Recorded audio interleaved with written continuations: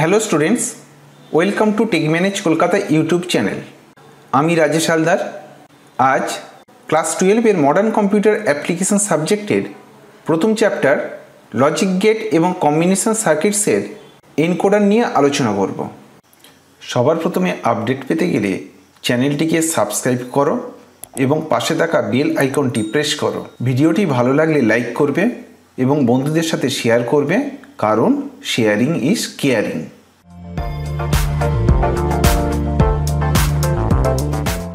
আমরা জানি computer binary digit, zero আর ওয়ান ছাড়া অন্য কিছু বুঝতে পারে না। সুতরাং আমরা যে ভাষায় কথা বলি, অর্থাৎ আমরা কম্পিউটারে যে সমস্ত ইনপুট দিই, সেগুলিকে এনকোডিং করা প্রয়োজন। যে প্রক্রিয়ায় কম্পিউটারের ইনপুট তথ্যগুলি সমতুল বাইনারি সিগন্যালে অর্থাৎ জিরো ওয়ানে রূপান্তরিত হয়, তাকে বলে এনকোডিং। আর এই এনকোডিংয়ের কাজটি যে কম্বিনেশন লজিক সার্কিটের সাহায্যে করা হয়, তার নাম এনকোডার। আমরা এর আগে ডিকোডার সম্পর্কে আলোচনা করেছি। আজ এনকোডার সম্পর্কে ধারণা পেলাম। আমরা যে ভাষায় কথা বলি, সেটাকে এনকোডিং করলে তবেই কম্পিউটার সেই ভাষাকে বুঝতে পারে। আবার কম্পিউটারের ভাষাকে বুঝতে গেলে ডিকোডিং করা প্রয়োজন। তাহলে কীভাবে হচ্ছে ব্যাপারটা আমরা একটু দেখে নিই। ধরো এই নাইন ডিজিটটাকে আমরা যদি এনকোডিং করি, তাহলে সেটা ওয়ান জিরো জিরো ওয়ান হয়ে যাবে। আবার ডিকোডিংয়ের মাধ্যমে সেটি নাইনের কনভার্ট হবে। অর্থাৎ ব্যাপারটি এরকমই দাঁড়াল, আমরা যেহেতু নাইন ডিজিটটাকে বুঝতে পারছি কম্পিউটার যেহেতু সেটাকে বোঝে না, সেই জন্য এটাকে এনকোডিং করা প্রয়োজন। আর এনকোডিং করে আমরা পেয়েছিলাম ওয়ান জিরো জিরো ওয়ান আবার সাধারণ মানুষের ক্ষেত্রে বোঝার সুবিধার জন্য সেটাকে ডিকোডিং করা প্রয়োজন। আর ডিকোডিং করে আমরা পেলাম নাইন এবারে আমরা এনকোডারে টেকনিক্যাল অ্যাসপেক্টটা ভালোভাবে বুঝে নেব। এই লজিক সার্কিটের সর্বাধিক two to the power N সংখ্যক ইনপুট লাইনের জন্য এন সংখ্যক আউটপুট লাইন থাকে। অর্থাৎ আউটপুট লাইনের সংখ্যা যদি এন হয়, তাহলে ইনপুট লাইনের সংখ্যা হবে সর্বাধিক two to the power N এনকোডারকে দুভাগে ভাগ করা যায়। একটা হলো ডেসিমেল টু বাইনারি আরেকটি হলো octal to binary decimal number সিস্টেমে কী কী ডিজিট রয়েছে? জিরো ওয়ান টু থ্রি, এইভাবে আপ টু নাইন পর্যন্ত। সুতরাং কটি ডিজিট রয়েছে? দশটি। তাই ডেসিমেল টু বাইনারি এনকোডারের ক্ষেত্রে ইনপুট লাইনের সংখ্যা হবে দশটি, আর আউটপুট লাইনের সংখ্যা হবে চারটি। এখন তোমরা প্রশ্ন করতে পারো, স্যার আপনি একটু আগেই বললেন যে আউটপুট লাইন যদি এন হয়, তাহলে ইনপুট লাইনের সংখ্যা হবে two to the power N তাহলে এক্ষেত্রে চারটি আউটপুট লাইনের জন্য two to the power four বা ষোলোটি ইনপুট লাইন হওয়া উচিত ছিল। কিন্তু আমি যেটা বলেছি সেটা হলো আউটপুট লাইনের সংখ্যা চারটি হলে সর্বাধিক ষোলোটি ইনপুট লাইন থাকতে পারে। অর্থাৎ ম্যাক্সিমাম ষোলোটি ইনপুট লাইন থাকতে পারে। সুতরাং এর থেকে কমও থাকতে পারে। দশটি ইনপুট লাইন তার মানে ষোলোর থেকে কম, এটি হতে পারে। এক্ষেত্রে আমরা যদি তিনটি আউটপুট লাইন নিতাম, তাহলে কতগুলি ইনপুট লাইন হতো? টু এর কিউব বা আটটি। কিন্তু আটটি ইনপুট লাইন দিয়ে আমরা দশটি ডেসিমেল ডিজিট রিপ্রেজেন্ট করতে পারব না। সেজন্যই আমাদেরকে চারটি আউটপুট লাইন নিতে হবে। তাহলে ডেসিমেল টু বাইনারি ইনকোডারের ক্ষেত্রে দশটি ইনপুট লাইন পাবো এবং চারটি আউটপুট লাইন পাবো। এবারে অক্টাল টু বাইনারি এনকোডারের ক্ষেত্রে অক্টাল নাম্বার সিস্টেমে কী কী ডিজিট থাকে সেটা দেখে নেব। অক্টাল নাম্বার সিস্টেমে zero one two three four এইভাবে আপ টু সেভেন পর্যন্ত ডিজিট থাকে। অর্থাৎ টোটাল ডিজিটের সংখ্যা আটটি। সুতরাং এক্ষেত্রে ইনপুট লাইনের সংখ্যা কত হবে? আট। আর আট মানে আমরা জানি টু এর কিউব সুতরাং আউটপুট লাইনের সংখ্যা কত হবে? থ্রি এবারে আমরা ইনকোডারের ব্লক ডায়াগ্রাম দেখে নেব। ইনকোডারের ব্লক ডায়াগ্রামের ক্ষেত্রে বাঁদিকে দেখো D zero D one D two এইভাবে আপ টু ডি নাইন পর্যন্ত ইনপুট লাইন রয়েছে। আর ডান দিকে রয়েছে O zero O one O two O three এই চারটি আউটপুট লাইন এখন বাঁদিকে যে ইনপুট লাইনগুলি রয়েছে ডি জিরো থেকে ডি নাইন পর্যন্ত যে কোনো সময়ে একটি মাত্র ইনপুট লাইন অ্যাক্টিভ থাকতে পারে। অর্থাৎ যে কোনো একটি ইনপুট লাইনের ভ্যালু ওয়ান হবে আর বাকিগুলির ভ্যালু জিরো হবে। তাহলে আমরা ট্রুথ টেবিলটা দেখে নিই। দেখো বাঁদিকে ডি জিরো থেকে ডি নাইন পর্যন্ত ইনপুট লাইন নিয়েছি আর ডান দিকে নিয়েছি ও জিরো থেকে ও থ্রি পর্যন্ত চারটি আউটপুট লাইন এই ট্রুথ টেবিল তৈরির জন্য কিছু ট্রিক্স আছে। প্রথমে আমরা নর্মালি দেখাচ্ছি। তারপরে আমি কিছু ট্রিক্স তোমাদেরকে বলে দেবো। সেটা কি রকম?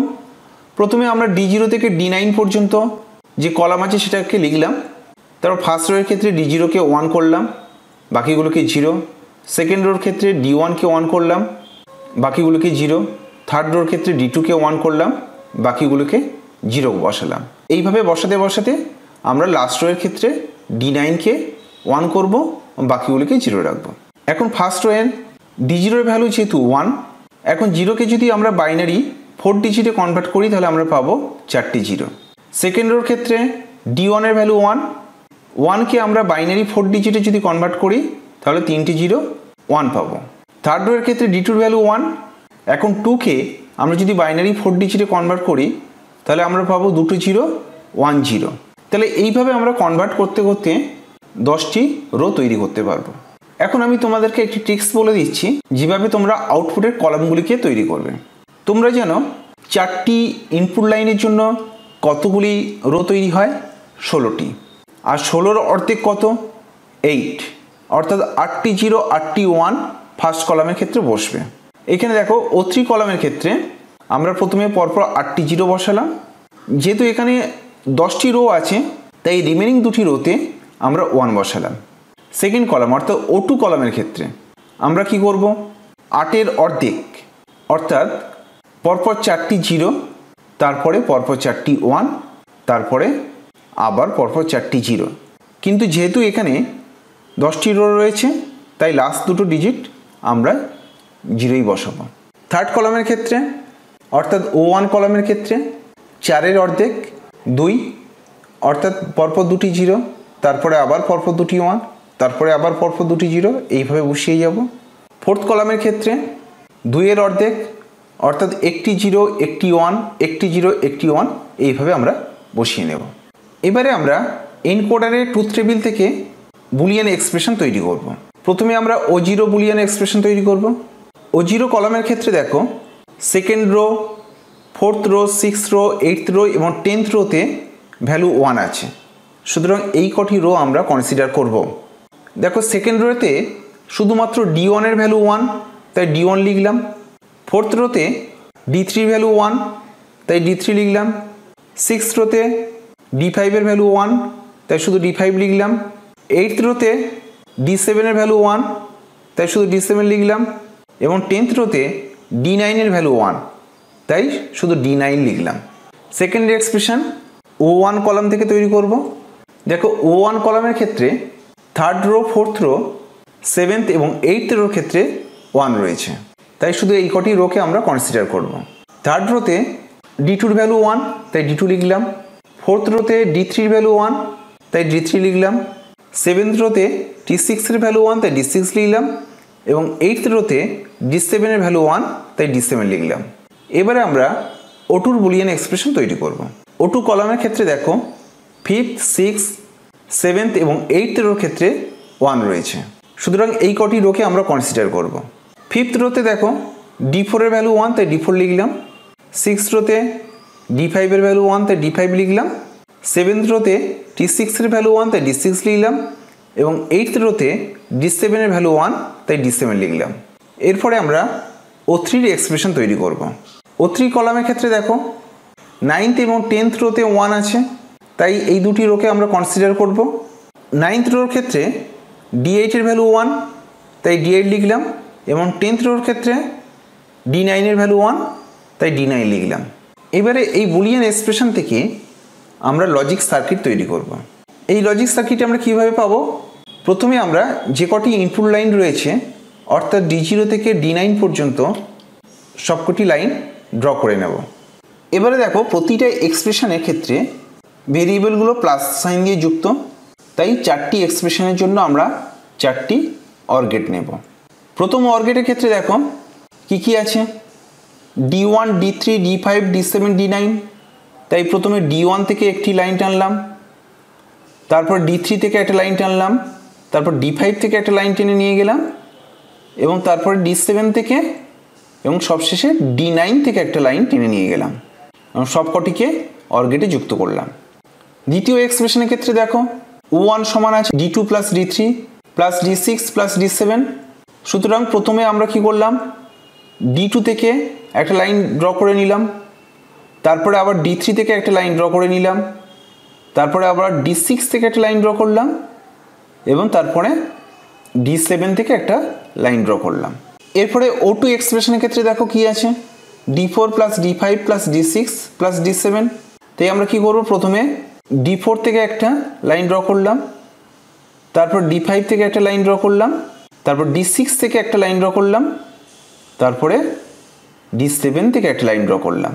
এবার সবশেষে যে এক্সপ্রেশনটি আছে সেটি হলো O three equal to D eight plus D nine সুতরাং ও থ্রির জন্য আমরা ডি এইট থেকে একটা লাইন ড্র করলাম এবং ডি নাইন থেকে একটা লাইন ড্র করে অর্গেটে যুক্ত করলাম। এইভাবে ডেসিমাল টু বাইনারি এনকোডারের লজিক সার্কিট ড্র করলাম। এবারে তোমরা যে কোনো ডিজিট নিয়ে কীভাবে এনকোডিং হচ্ছে সেটা চেক করে দেখতে পারো। আমি এখানে নাইন ডিজিটটাকে কনসিডার করলাম। সুতরাং ডি নাইন লাইনটাকে দেখব। ডি নাইন লাইনের ক্ষেত্রে দেখো, একটি লাইন চলে গিয়েছে ও জিরোতে এখন যেহেতু এগুলি অর গেটের মাধ্যমে যুক্ত, সুতরাং ডি নাইনের ভ্যালু যদি ওয়ান হয়, তাহলে ও জিরোর ভ্যালু কী হবে? ওয়ান হবে। সুতরাং ও জিরোতে আমরা ওয়ান লিখলাম। এরপরে দেখো ডি নাইন থেকে ও ওয়ান অথবা ও টুতে কোনো লাইন যায়নি। সুতরাং ও ওয়ানের ক্ষেত্রে জিরো আসবে ও টুর ক্ষেত্রে জিরো আসবে। এবার ডি নাইন থেকে একটি লাইন চলে গিয়েছে ও থ্রিতে সুতরাং ও থ্রি ভ্যালু ওয়ান হবে। তাই ও থ্রি ভ্যালু ওয়ান লিখলাম। তাহলে আমরা কি পেলাম? ওয়ান জিরো জিরো ওয়ান এটাকে যদি আমরা ডেসিমেলে কনভার্ট করি, তাহলে কি পাবো? নাইন এইভাবে তোমরা অন্য যে কোনো digit two three four five যে কোনো ডিজিট নিয়ে তোমরা চেক করে দেখতে পারো। তাহলে আজ আমরা ডেসিমেল টু বাইনারি এনকোডার সম্পর্কে বিস্তারিতভাবে জানলাম। নেক্সট ক্লাসে আমরা অক্টাল টু বাইনারি এনকোডার নিয়ে আলোচনা করব। Thank you